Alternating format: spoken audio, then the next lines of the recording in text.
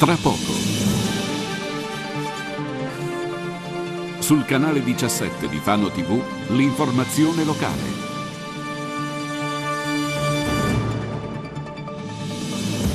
La Polizia Municipale di Fano festeggia il 154 anno di fondazione, 900.000 euro di sanzioni e reati in capo. Sbaglia manovra al parcheggio, donna fanese in Maserati danneggia un'auto e scappa, rintracciata grazie alle telecamere di videosorveglianza. Un giovane fanese trova per strada un portafogli pieno di soldi e lo restituisce al legittimo proprietario. Tra avvistamenti e smentite lo squalo bianco in Adriatico continua a destare interesse e per l'esperto è tutto nella norma. L'atleta paralimpica Giusy Versace ritira il premio giornalistico Valerio Volpini e incontra gli studenti delle superiori.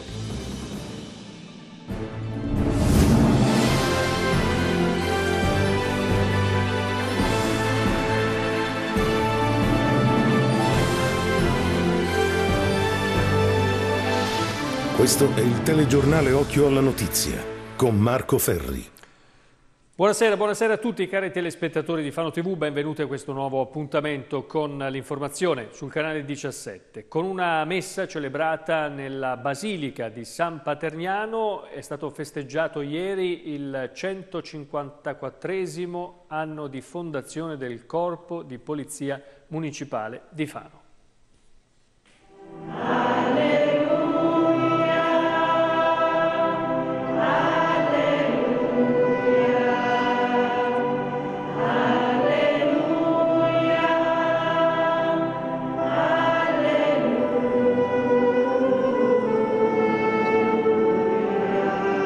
Grande partecipazione, come non si vedeva da tantissimo tempo, per la messa fuori orario celebrata nella Basilica di San Paterniano, appositamente per il corpo di polizia locale, nel suo 154 anniversario della sua fondazione, celebrata dal vescovo di Fano Armando Trasarti.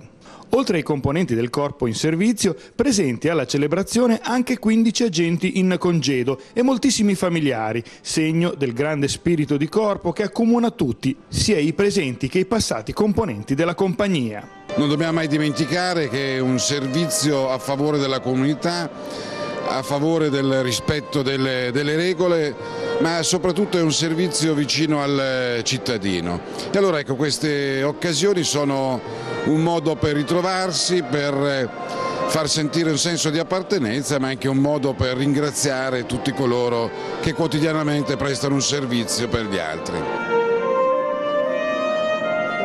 Il comandante di Quirico per questo ha espresso gratitudine ai frati di San Paterniano per la grande disponibilità e al Vescovo per questa mattinata speciale che fa il pari con un'altra messa celebrata il 31 ottobre scorsi nei locali del Comando di Polizia in ricordo di tutti i caduti del Corpo di Polizia Municipale, asse portante dell'ordine della sicurezza della città di Fano. Eh, la presenza di un vescovo per quello che possa indicare dice anche presenza dell'istituzione insieme a tutte le altre istituzioni di incoraggiamento, di, di motivazione per un ruolo che è delicatissimo perché sono convinto sempre che sotto la divisa c'è l'umano e l'umano ha bisogno di relazione, di sorriso, di stretta di mano, di maturazione, di rispetto.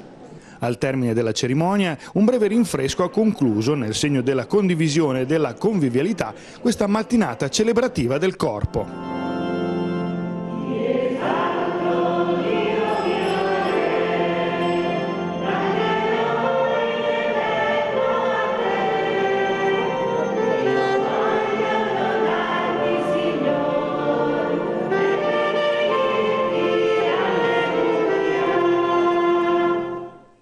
E la festa della Polizia Locale è stata anche l'occasione per eh, fare un bilancio delle attività svolte eh, nel corso dell'anno. Più di 900 mila euro incassati con le multe, reati in calo, eccetto quello più pericoloso di tutti, cioè il passaggio con il rosso. Meno incidenti stradali, meno feriti sulle strade e meno sanzioni per violazioni del codice della strada.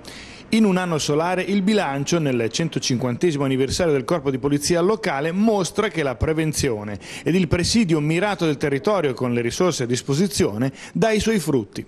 Il comandante Alessandro Di Quirico snocciola i numeri delle statistiche delle principali attività del corpo in una condizione di sottodimensionamento di personale, ma che nonostante questo, con i mezzi tecnologici a disposizione, ha permesso di contrastare fenomeni molto pericolosi, come la mancata revisione dei veicoli, un vero e proprio pericolo pubblico.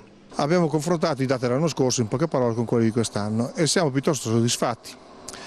Vi prometto che noi avevamo dovuto centellinare le nostre forze perché sapete siamo ben 19 sotto organico, 51 contro i 70 previsti.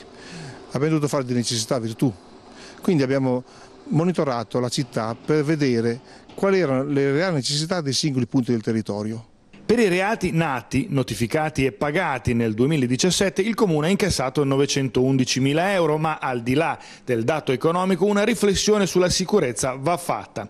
A togliere il sonno ai tutori del codice della strada e non solo, purtroppo è una delle infrazioni più pericolose in assoluto, passare con il semaforo rosso. Da quando sono state installate le telecamere in viale Primo Maggio al semaforo del Lido si sono verificate 2.687 infrazioni con una media di 200 al mese, con punte nei primi mesi anche di 600 rossi pieni in un solo mese. E questo veramente è un dato che fa pensare quanta gente non vede il semaforo rosso o non lo considera, forse è meglio dire, perché mi pare impossibile che non veda dal momento che guidano. Passaggio col rosso, 90% è un incidente stradale quindi massima attenzione. Se da un lato nel totale le infrazioni del codice della strada sono calati, i reati ambientali purtroppo, a testimonianza di uno scarso senso civico di alcuni cittadini, mostrano una severa impennata, triplicando il loro numero, passando da 111 a un totale di 352, con i trasgressori pizzicati grazie anche all'ausilio della videosorveglianza, un aspetto però su cui c'è ancora molta strada da fare. Lo assolviamo il cittadino fanese dal punto di vista del codice della strada? Strada? Sicuramente sì, sicuramente sì. Siamo 62.000 abitanti, il numero delle multe mi pare inferiore. No? La maggior parte sono bravi a farlo, possiamo dirlo.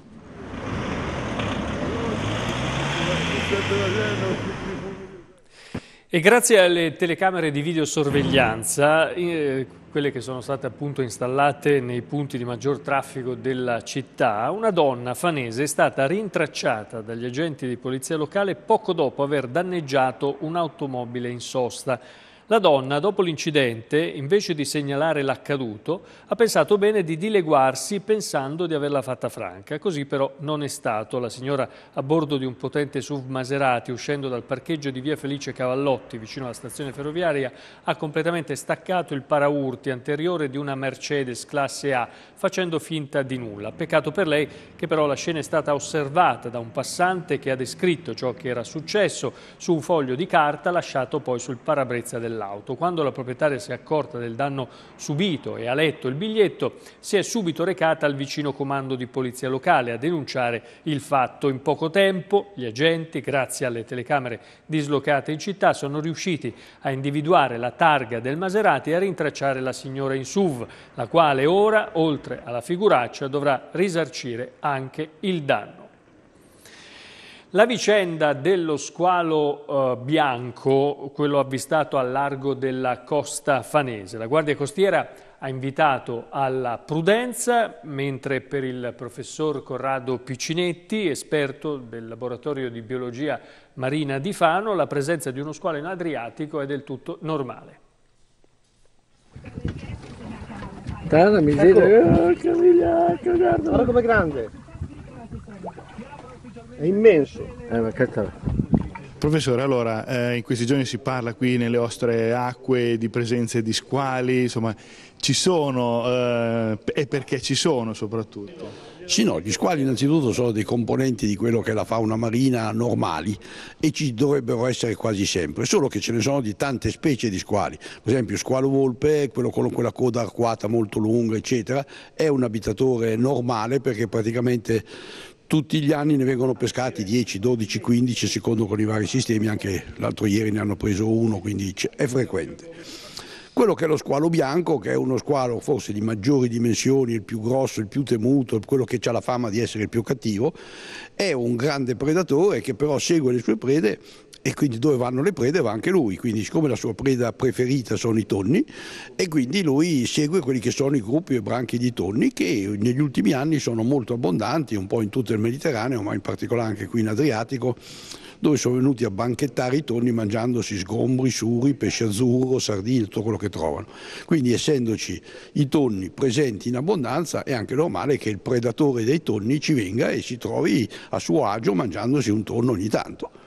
Quindi se è stato visto non è una cosa così anomala, la sua presenza potrebbe essere assolutamente possibile. È possibile, normale direi, fa parte della natura, ossia sarebbe come se uno dicesse, io so, ho visto un lupo e dico vabbè il lupo eh, fa parte del suo ambiente che c'è, se uno ne vede uno tutti i giorni forse sono troppi, ma di vederne uno ogni tanto, soprattutto noi siamo una zona un po' marginale per questi pesci che vivono in acque più profonde, in acque in mare aperto, eccetera se viene in Adriatico è perché ha trovato questa ricchezza particolare in questo, questo periodo di tonni e quindi viene, se lo mangia con notevole facilità e lui ha degli scatti molto veloci, riesce anche a prendere anche dei tonni i quali cercano di scappare, ma essendoci in un branco trova sempre il più, il più debole, quello che corre meno svelto degli altri e lo, lo acchiappa.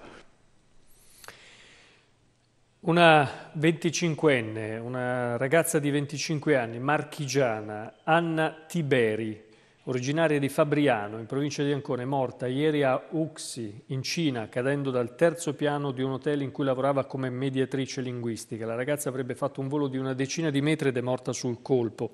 Le autorità locali stanno indagando sulle cause di quello che per il momento viene considerato come un incidente eh, una famiglia conosciuta, Fabriano, il papà del 25enne, ora in pensione, svolge attività di volontariato in diocesi.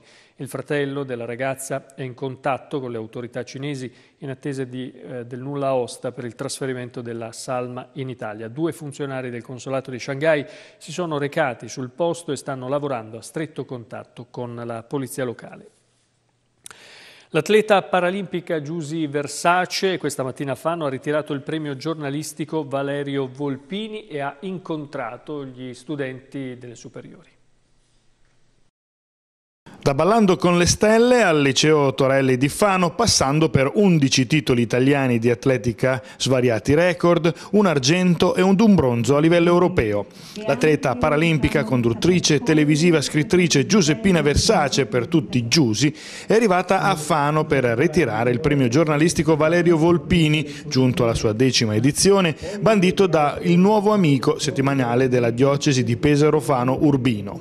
Il prestigioso riconoscimento viene assegnato assegnato in collaborazione con la rete delle scuole della provincia e l'Università Carlo Bo di Urbino a personalità del panorama massa mediatico che si siano distinte per una comunicazione sobria, mai banale né volgare ed attenta alle giovani generazioni. Oltre a ritirare il premio, Giusy Versace, in una intervista alla giornalista di Avvenire Lucia Bellaspiga, ha raccontato della sua esperienza di vita da quando, in quel tragico incidente sulla Salerno-Reggio Calabria del 2005, in cui perse entrambe le gambe, la sua vita cambiò radicalmente. Il premio fa sempre piacere, poi in maniera particolare se, eh, come in questo caso mi viene assegnato perché ho avuto un'attenzione particolare ai giovani. I giovani sono il futuro, poi i giovani. Chi sono i giovani? Io, io, mi ritengo nella categoria, mi inserisco e mi attribuisco questo titolo di giovane anch'io. Penso semplicemente che i ragazzi, le nuove generazioni siano il futuro. Loro possono aiutarmi ad abbattere le barriere mentali che gli adulti costruiscono e hanno costruito nei confronti dell'handicap e mi piace l'idea che comunque a loro resti il fatto che nella vita non si possono fare programmi, a volte disabili si diventa per un incidente, per una malattia, non c'è un perché o se c'è non c'è dato saperlo e quindi bisogna fare la differenza avendo comunque la prontezza di reagire e continuare ad amare la vita. Se gli resta questo loro io sono già contenta perché insomma alla fine le sfighe nella vita di tutti toccano a tutti, non c'è un cognome o uno stato sociale che ti preservi da questo, no? Trova un borsello pieno di soldi e lo restituisce al legittimo proprietario. È accaduto questa mattina a Fano in via Flaminia. Protagonista di, quel, di, questo bel gesto, un giovane di 27 anni, fanese, che dopo aver visto l'ingente somma di denaro contenuta nel portafogli non, ha, non ci ha pensato un secondo e si è messo subito alla ricerca di chi lo aveva perduto, aiutato anche da alcuni commercianti della zona e grazie ai documenti presenti all'interno. Inutile raccontare la gioia del fortunato proprietario che un po' incredulo, ha ringraziato il giovane del suo indimenticabile gesto.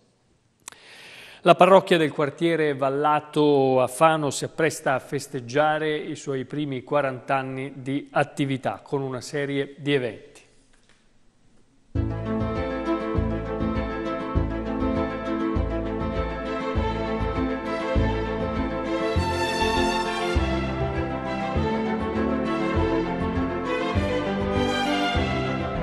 La chiesa di San Paolo al Vallato di Fano compie 40 anni. Era il lontano 6 novembre 1977 quando alla presenza del vescovo Mici e ad opera dell'allora parroco Don Lanfranco Casali veniva posata la prima pietra della chiesa divenuta oggi un punto di riferimento del quartiere.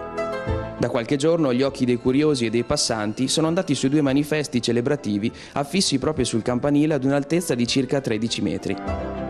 In occasione di questo anniversario così importante, la parrocchia ha organizzato per martedì 7 novembre alle ore 21 una serata di festa particolare che ci viene illustrata direttamente dal parroco Don Francesco Pierpaoli. E il martedì 7 no novembre alle ore 21 qui abbiamo invitato tutti i parrocchiani proprio per ascoltare dalle voci dell'architetto che l'ha pensata, ma anche dei parroci che si sono succeduti, il senso di una costruzione di un tempio eh, accoglieremo appunto all'esterno di questo luogo i parrocchiani e eh, dopo una preghiera e l'accensione di un segno che vorremmo tenere durante tutto l'anno qui per ricordarci questi 40 anni, entreremo con queste luci in chiesa dove eh, ascolteremo le testimonianze vive dei parroci, dell'architetto e di tutti coloro che hanno messo mano, potremmo dire, agli strumenti del lavoro per costruire questa chiesa.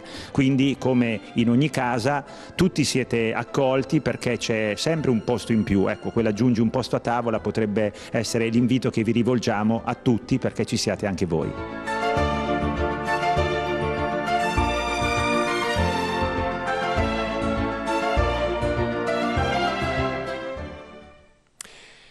Scherzo di cattivo gusto quello che ha subito il proprietario di questo furgone Ford Transit. Il mezzo è stato imbrattato con della vernice nera nella notte tra sabato e domenica in via Papa Giovanni XXIII a Lucrezia di Cartoceto. Un danno non da poco, visto che poi a metterci le mani per ripulirlo dalla vernice è stato il carrozziere, un dispetto che pare non, essa, non, sia stato in qualche modo isolato. Nella stessa notte, sempre a Lucrezia, ci hanno riferito alcuni residenti al telefono, sono stati presi di mira altri due furgoni bianchi nella zona di Villa Evelina. E adesso lo sport con eh, Matteo Del Vecchio. È il cinquantenne Oscar Brevi, nell'ultima stagione al Padova, il nuovo allenatore dell'Alma Juventus Fano, dopo l'esonero di Agatino Cuttone, al quale è stata fatale la sconfitta di venerdì a Sassuolo contro la Reggiana, la settima in dieci partite. Brevi, che in carriera ha vestito le casacche di Torino e Como, con cui ha debuttato anche in Serie A, si è già seduto con risultati altalenanti sulle panchine di Rimini, Torres e Spal, e a lui il patron Gabellini e il DS Menegatti si affidano per risalire la corrente già a partire da mercoledì prossimo, quando al Mancini arriverà il Sant'Arcangelo per uno scontro diretto fondamentale in chiave salvezza. Chi invece al momento non ha problemi di classifica è la Giban Virtus che nel campionato nazionale di volley di Serie B ieri ha centrato la terza vittoria in quattro gare, la seconda con bottino pieno. In un pala Saiende gremito in ogni ordine di posto, la formazione di Mister Radici e del vice Sorcinelli ha superato per 3-1 la Nef Osimo, rimontando il provvisorio 0-1 ospite. Senza storia il secondo set, vinto per 25-15 tirati ma mai messi in discussione il terzo e il quarto, con il tecnico fanese abile a trovare dalla panchina le giuste risposte dopo che gli Osimani, nel quarto parziale, si erano portati sull'11 a 5. Sugli scudi Emanuele Lucconi, 29 punti per lui, ed applausi anche le prestazioni di Maier e Spinelli, rispettivamente autori di 12 e 7 punti. Dal parquet della pallavolo passiamo a quello del calcio a 5 dove continua a veleggiare in vetta alla classifica il Flaminia femminile che grazie al 2-1 esterno di ieri sul campo del Granzette resta al comando con 12 punti in 5 partite nel campionato di A2. Sofferta la vittoria delle biancoazzurre in terra veneta, arrivata grazie alla doppietta di Martina Mencaccini che permette così alle ragazze di Alessandra Imbriani di preparare con tranquillità la sfida di domenica prossima contro i Bassotti Torino. Vittoria esterna anche per l'Eta Beta nel campionato di Serie B maschile, con il quintetto di Mariotti Corsaro a Forlì per 4-2, grazie alla doppietta di Pazzaglia e ai sigilli di Pietrelli e Bei. Equilibrato il match fino al tredicesimo della ripresa, quando i Granata, sabato in maglia azzurra, riescono a mettere la freccia e portarsi così a quota 8 in classifica dopo 5 giornate, appena un punto sopra i cugini dell'Alma, che nell'ultimo turno cadono al circolo tennis trave per 6 4 contro Faenza. Sfortunati i ragazzi di Mascarucci che chiudono avanti per 3-2 il primo tempo e subiscono le reti decisive a pochi minuti dal termine quando il risultato era di 4 pari. Per gli All Blacks a bersaglio Luigi Cazzola, Damiano Giuliani, Nicola Spieri e Nicolò Copparoni. Ci spostiamo ora al campionato di C1 di rugby dove continua il periodo nero del Fano, che nella prima giornata di ritorno incappa in una sonora sconfitta sul campo della capolista Iesi, la sesta in altrettante partite con i ragazzi di Walter Colaiacomo e Franco Tonelli che restano ultimi in classifica con soli tre punti in cascina, frutto di tre battute d'arresto con meno di sette lunghezze di scarto. Troppo il divario tra le due formazioni, anche se dalla truppa del presidente Giorgio Brunacci ci si aspettava una gara decisamente diversa, soprattutto dal punto di vista mentale, una gara che sembrava essersi messa sui binari giusti al decimo, con gli ospiti in avanti grazie alla punizione di Alessandro Gasparini.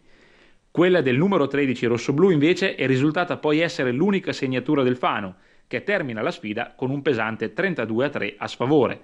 Ai giocatori e allo staff ora non resta che tirarsi sulle maniche e approfittare del mese di stop per provare a cambiare passo ed evitare così la pericolosa lotteria dei play-out.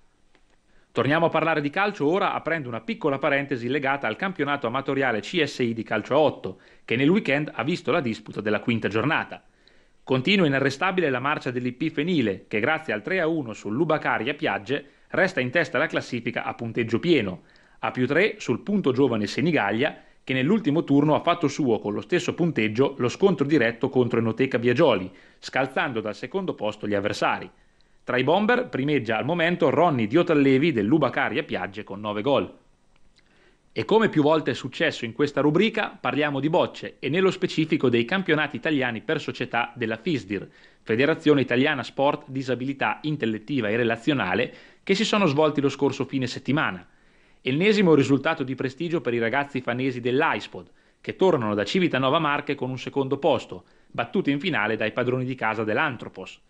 A mettersi al collo la medaglia d'argento sono stati Manuel De Marc, Manuel Anniballi, Jacopo Primavera, Lorenzo Bronzini, Mirko Montanari e Adelpino Moretti, accompagnati nella spedizione maceratese dai tecnici Romolo Giovannini e Adriano Frattini della San Cristoforo, da Tonino Tonelli della Metaurense, dal presidente della FIB Marche, il fanese Corrado Tecchi, e dalla presidente Romina Lesiani. Il team fanese ha preceduto in classifica un'altra formazione locale, la SO Sport di Urbino. E chiudiamo la pagina sportiva di stasera segnalandovi un interessante appuntamento in programma giovedì 9 novembre alla Bocciofila La Combattente, un convegno dal titolo Mangio dunque sono, dove si parlerà di nutrizione e sana alimentazione abbinati a sport e psicologia.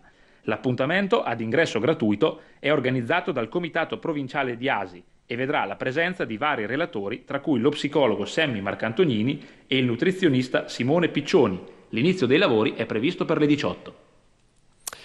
Ok, allora noi ci fermiamo qui, però voglio ricordarvi che mercoledì sera torna Primo Cittadino, questa volta sarà nostro ospite il sindaco di Colle al Metauro Stefano Aguzzi. Allora tutti quelli che vogliono rivolgere domande, eh, informazioni, eh, chiedere, eh, fare domande al sindaco di Colle al Metauro eh, Aguzzi possono farlo attraverso il numero, i numeri che vedete in sovraimpressione per la diretta 0721 86 14 33 oppure tramite sms o whatsapp 338 4968 250. Allora, dopo di noi box con i protagonisti di Fano, poi in cucina con lo chef, questo è il numero di telefono invece 338 4968 250 per le vostre segnalazioni. Grazie per averci seguito, ci vediamo domani mattina alle 7.30 con la rassegna stampa Occhio ai giornali. Buona serata a tutti. you